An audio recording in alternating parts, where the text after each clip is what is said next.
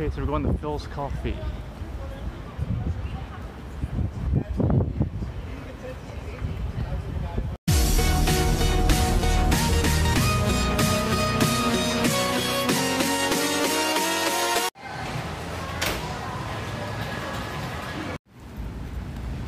All right, so they didn't have any lattes here, right? No, it's pour over coffee, but you, good. you can't tell. Yeah, I, li- I like it.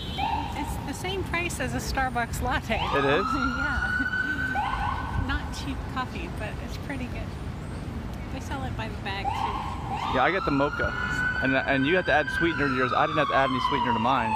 I like it this way it is. It came with sugar in it. But it has Yeah. dark chocolate in it. Yeah. They were a dollar fifteen each. I'm sure you would have lectured me.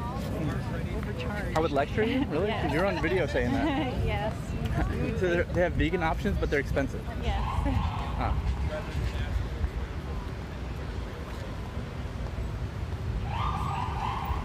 But would you go back and get some vegan options, maybe? Uh, I doubt it, but I'd go back for coffee. Okay. So how is it on a scale of one to ten for your coffees? Like an eight.